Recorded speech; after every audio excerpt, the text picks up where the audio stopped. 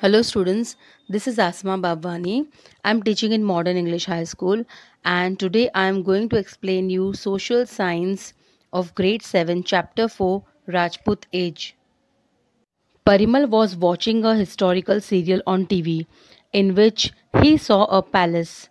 A thought arose in his mind. Are such palaces still in existence? Who had constructed such palaces?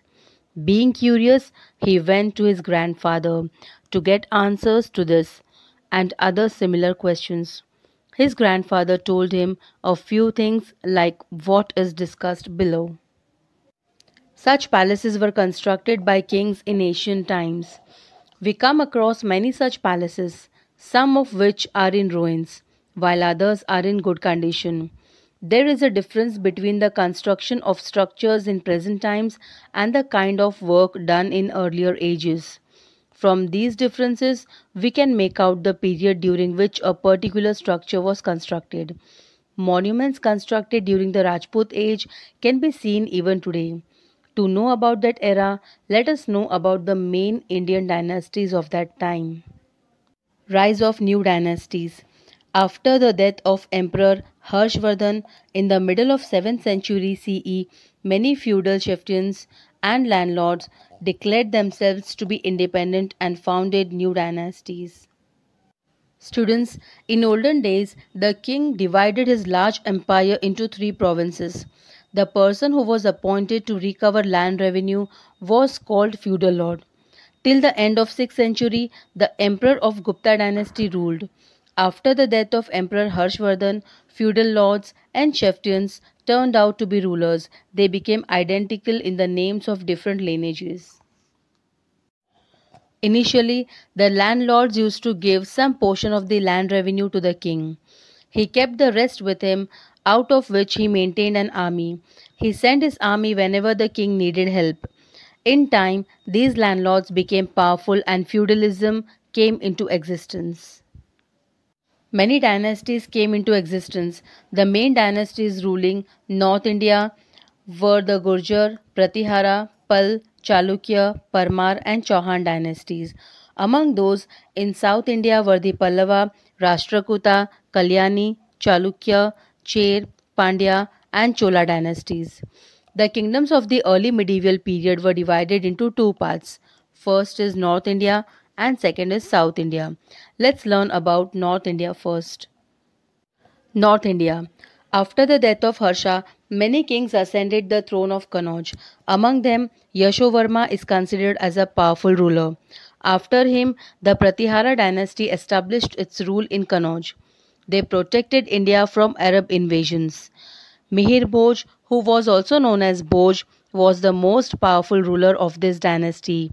He fought many battles with the Rashtrakutas during his reign. We will learn about the Rashtrakutas later. Students, the period from the 8th to the 12th century is known as early medieval period. The rulers of early medieval period are separated into two sections, ruler of North India and rulers of South India. After Emperor Harsha, Yashovarma, a brave king, came to the throne of Kannauj. After that, Pratihar dynasty took over in Kanauj. They had saved India against the invasions of Arabs. Invasions means attacks of Arabs.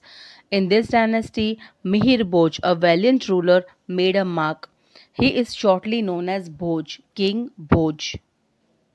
The Parmar dynasty ruled Malwa. Ujjain and Dharnagiri were the two main cities of Malwa.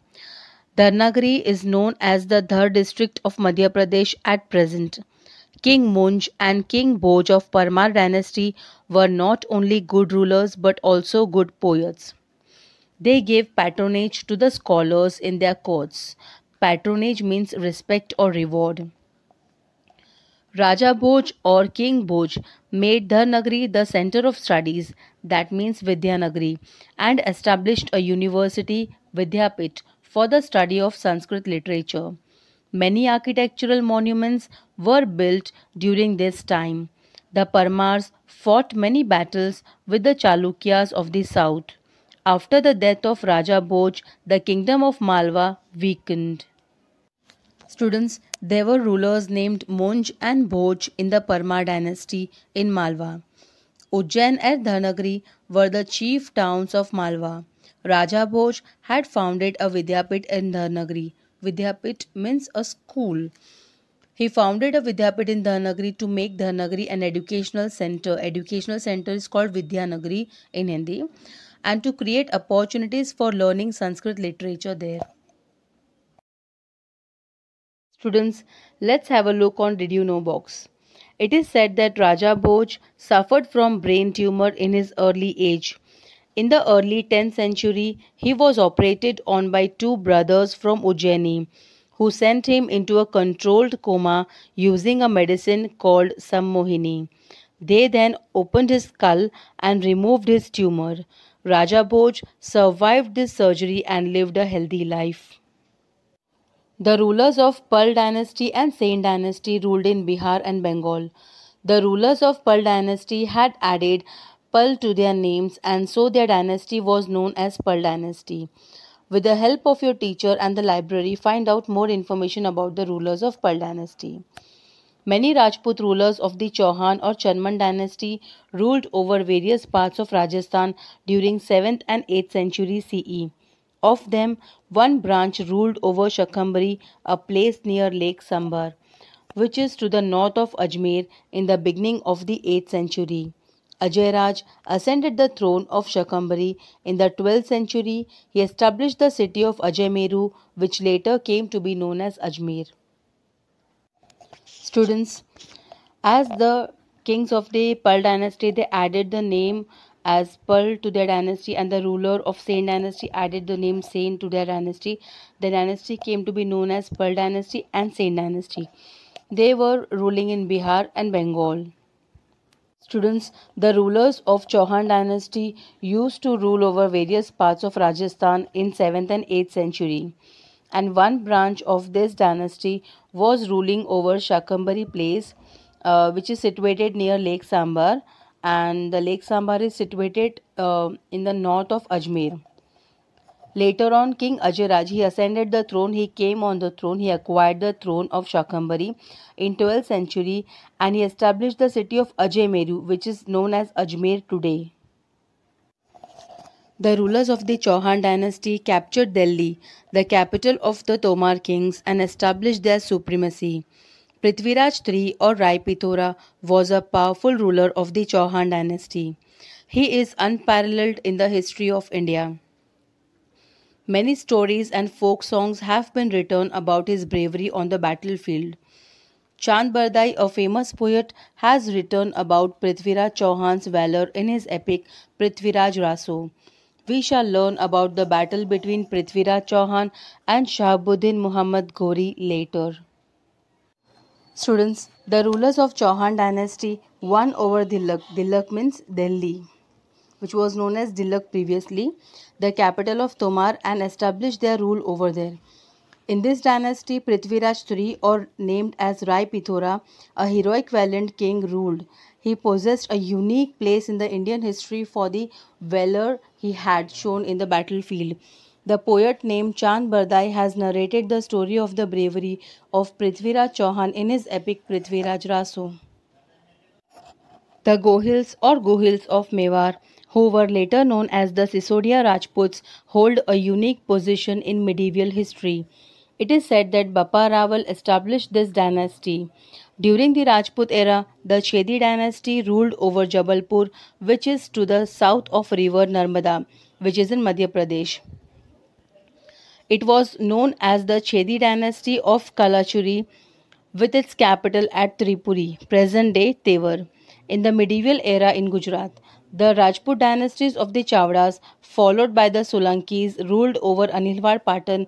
There were many valiant rulers of this dynasty about whom we will study later. Students, Bappa Rawal was the founder of Gohils of Mewar who were later known as Sisodia Rajput dynasty. Many valiant kings existed in this dynasty kings of Chedi dynasty ruled in the surrounding province of Jabalpur to the south of the river Narmada in Madhya Pradesh. Their state was called Chedi state of Kalachuris. Their capital was in Tripuri, presently Tewar. During the Rajput age, there was a reign of Chavda and Solanki in succession of Rajput dynasty in Anhilpur Patan in Gujarat. South India. During the Rajput era, many big and small states were established in South India. After the demise of Pulkeshi II, his vast empire disintegrated into smaller states.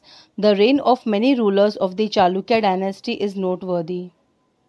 Students, after the death of Pulkeshi II, his vast empire was divided into smaller states. During Rajput era, many big and small states were established in South India, and Chalukya dynasty came to an end after the death of Pulkeshi II in South India. The kingdoms of the Pallava and the Chola dynasties are also included in the states of South India. Narasimhavarma was a strong ruler of the Pallava dynasty. The emperors of this dynasty were lovers of art and literature. The Kailashnath temple of Kanchi is the best example of Pallava architecture. Students, during Rajput age, the states of Pallav dynasty and Chola dynasty were well known.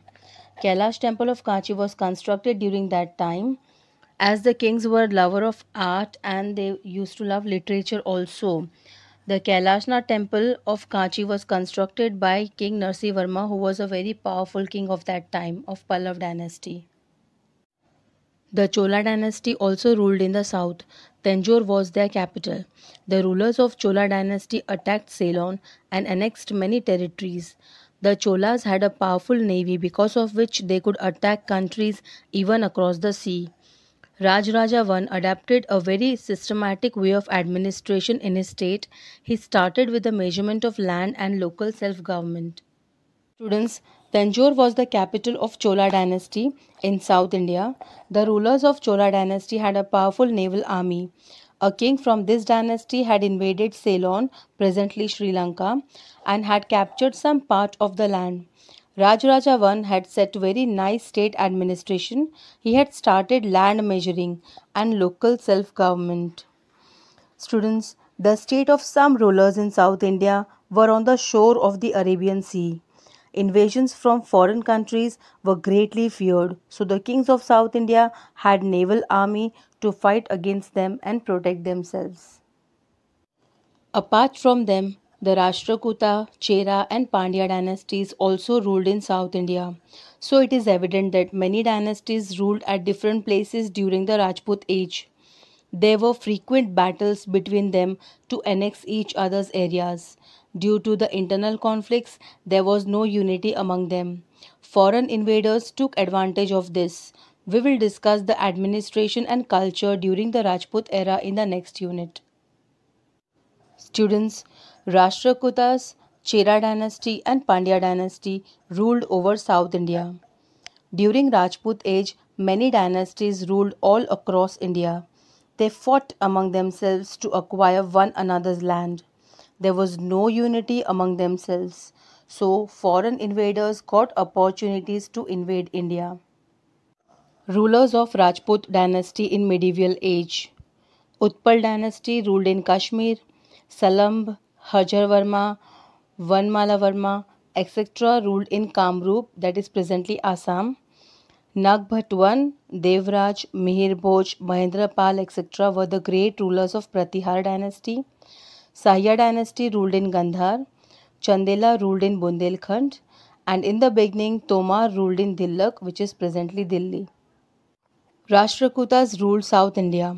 With the fall of Chalukya dynasty, Rashtrakuta came to power. Rashtrakuta means head of a state or area.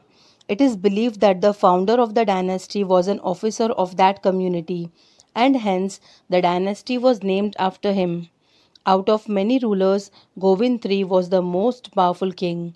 In the 8th century, he established a powerful kingdom in the Deccan. Students, with the fall of Chalukya dynasty in South India, Rashtrakut dynasty came to power. The meaning of Rashtrakut is the chief official of Rashtra or province. In this dynasty, in the 8th century, there existed Govind III, a powerful king who had established his supreme rule in Deccan, that is in South India, the entire South Peninsula of India. The Pandyas also ruled over South India. The Pandya dynasty is believed to be very ancient. Megasthenes, the Greek traveler, notes that females used to rule in this community. The inscriptions of Emperor Ashok also contain references to the Pandyas. The Pandyas ruled in the present day Madurai and Tirunelveli in Tamil Nadu. Cheras ruled over South India. Chera is now known as Kerala. In ancient time, Kerala was part of the Tamil state. Later on, Kerala or Malayalam state separated. Kepalputra Rajya is mentioned in the inscriptions of Ashoka. Ethan II was the first strong ruler of this dynasty. Cheran Shetungvan was a powerful ruler of this dynasty. Students, the rulers of Pandya dynasty ruled where presently we find Madurai and Tirunelveli districts of Tamil Nadu in south. Pandya state is considered to be a very ancient state as a foreign traveler, Megasthenes has noted in that dynasty women ruled. There is a mention of Pandya state in Emperor Ashok's stone inscription. Chera dynasty ruled in South India. The other name of Cher is Kerala. Formerly, Cher or Kerala was a part of Tamil region. Malayalam or Kerala province got separated from it later. In the stone inscription of Ashoka, the mention of Kepla Putra state is found. Powerful kings like Ethan II and Shetungvan also belong to this dynasty. Dynasties of South India in the medieval period. Chalukyas ruled Vatapi, Badami. Rashtrakutas ruled Manyakheta. Hoysala ruled Dwar Samudra. Yadavs ruled Devgiri. Cholas ruled Tanjore. Pride of Rajput rulers. Rajputs were very brave. They felt proud to give up their lives for their country, to die but never fear, to protect those who seek refuge, to speak the truth and fight for truth were their special traits. Students, Rajputs were brave and adventurous. They felt proud in laying down their lives for their country. They never retreated in the battlefield. They offered desperate fight in saffron clothes. They embraced death if they lost hope of winning in the battlefield. They protected their refugees at any cost. They were men of word, had unyielding nature or self respect, and truthful. They were ever ready to fight for truth. Rajput women, Rajputani, were known for their chastity and fearlessness. They sent their husbands, sons, and brothers to the battlefield with a smiling face. They were so brave that if need be, they would fight in the battlefield. They preferred Johar to burn alive if their husbands were defeated or attained martyrdom in wars. The heroic stories of the Rajput age are engraved in golden letters in the history of India. Students, Rajput women, that is Rajputanis, were known for their self immolation on the pyres of their husbands and for their fearlessness. They gave sent off to their husbands, sons, or brothers smilingly to the battlefield. In a critical condition, they also wore weapons and went to the battlefields for fighting. They performed self immolation on the pyre of their husbands in case their husbands meet with death while fighting on the battlefield. If the wives of the Rajputs feared that they would be caught by the enemy, they performed Johar, self immolation in a group. Things to know Ranki Vav. Ranki Vav is a seven story stepwell in Patan, Gujarat. Udaymati, the wife of Bhimdev II, constructed it. It is an unparalleled example of a stone architectural structure. Vastupal and Tejpal built Jain temples in Dilwara in Mount Abu, Rajasthan, in which marble pillars, arcs, domes, balconies, etc. were engraved minutely by skilled artists. Vastupal and Tejpal were the ministers of Rana Virdhaval of Dholka, Gujarat. Vastupal constructed Jain temples at Girnar, Palitana, Shertha, Dabhoi, Gujarat, etc. So students, here we end our chapter The Rajput Age. Do subscribe and click on the bell icon to get the latest updates.